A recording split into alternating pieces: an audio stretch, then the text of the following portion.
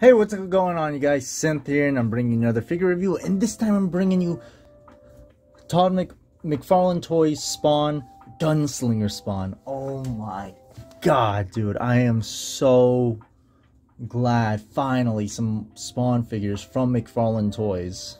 The thing that basically the symbol of the whole company. God damn it, dude! Finally, he's bringing out. It's not like he didn't bring them out, but they're actually action figure form where they actually have actual articulation. Oh my god. So glad that I pre-ordered him when it dropped from Target. Oh my god. Um, I'll put a link down below uh, in the description to let you guys know. Uh, and see if you guys can get your own.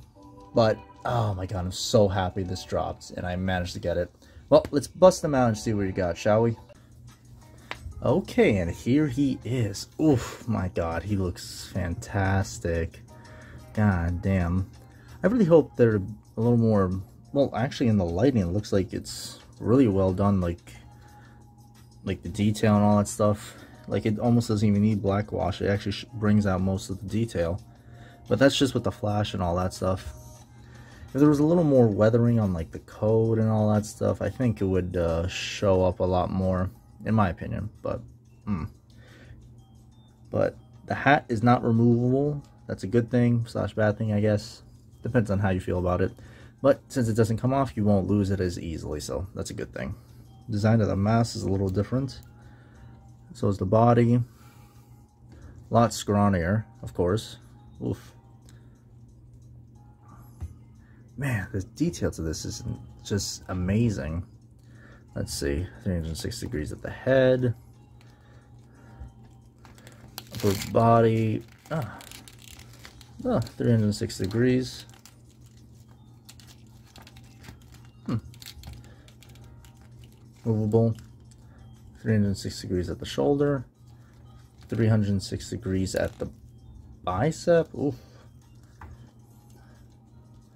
Double jointed. ah, dang double jointed uh, elbow. Very nice very nice. Does not move at the forearm unfortunately but it does have 306 degrees hand. And uh, slight oof. Very slight movability ah man these spikes. Really dig in let's see. Torso or hips. 306 degrees. Nice swivel motion right there. Uh, oof 45. At the leg, eh, good 90. Almost good 90 right there. Hmm, it's not bad.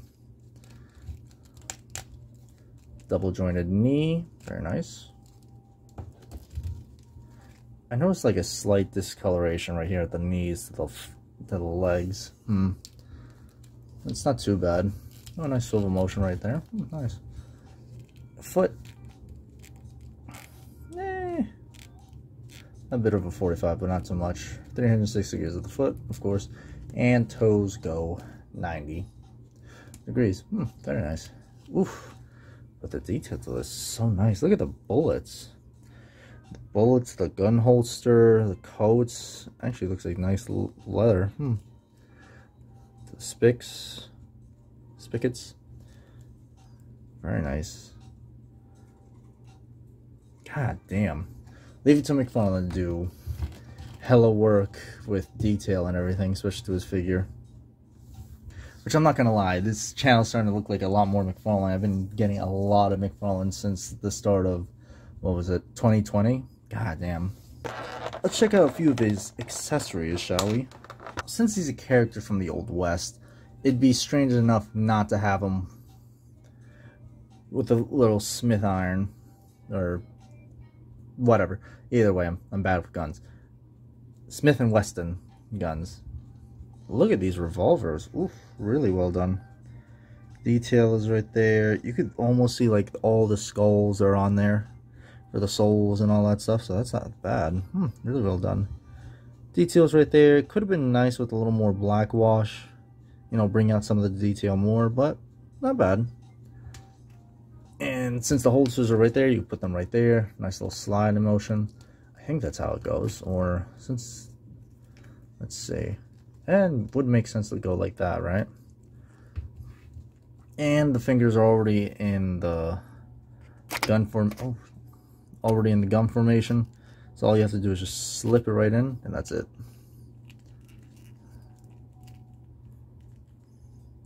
See, that's it. Very nice, very nice. Of course, he comes with this, a nice gun holster for his big one right here. Oh man, I know the name of this weapon, but I'm forgetting it. But it's well done, really well done. Again, it's exquisite detail, but it just it needs a little more paint to like bring out the detail. I feel like I need to blackwash this stuff just to bring out the good looks in it. Hmm. And you put it in here. Nice little holster. It's actually, surprising enough, it's actually got enough uh, stuff to hold all the weapons instead of like losing it, which is a good pose. See if I can... Ah, it comes on. And it goes on pretty well. I thought it would be a lot more difficult than it was. There we go. Huh. Damn, he looks vicious. Oof. So glad I got this figure. God damn. And uh, that's really about it. Let's check out the box he came in, shall we? Here we go. I love how it says on top, not a toy. 14 and up, McFarlane Toys. Get the little green smoke, especially for Spawn. We got a Spawn stand in the back right there. That's a classic thing for McFarlane to come with the stands from Record, Break It Comic, Spawn, Gunslinger Spawn. It matches the the old school, what was it, comic uh, cover and or uh, classic Spawn figures. On the side we have Spawn, Spawn figure picture.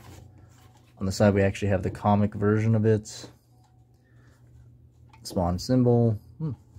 And on the back, 22 moving parts uh, Spawn, Gunslinger Spawn posing right there. And uh, yeah, that's really about it. Hmm.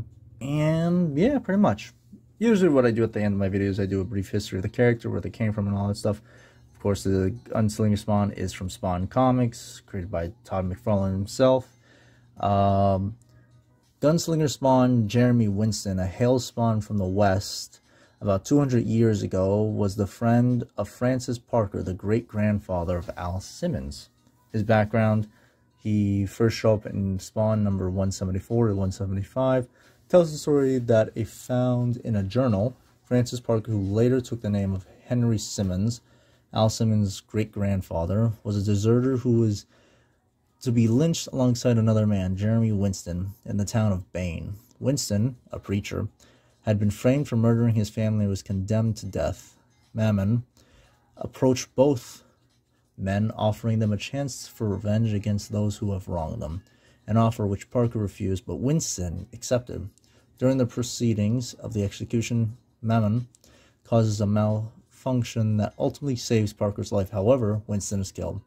A short time thereafter, Winston is resurrected as the gunslinger Spawn and he proceeds to slaughter every resident in town of Bain, sparing only Francis Parker, whom Mammon ordered be kept alive. The gunslinger spawn confines Parker to a pine casket along belonging to a now deceased resident of Bain, Henry Simmons, and floats the coffin down the river to a waiting Mammon, who tells Parker that one of his descendants will become the Hellspawn that destroys the world, which of course is would be House Al Simmons Spawn that we all know and love. And uh, yeah, that's pretty much it. Well, I hope you guys enjoyed the video and all that stuff. If you didn't, thanks for checking it out. But if you did, please hit that human like button down below.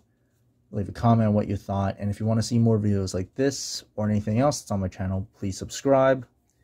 Hit that notification bell when new videos come out. And I'll be catching you guys next time. Peace.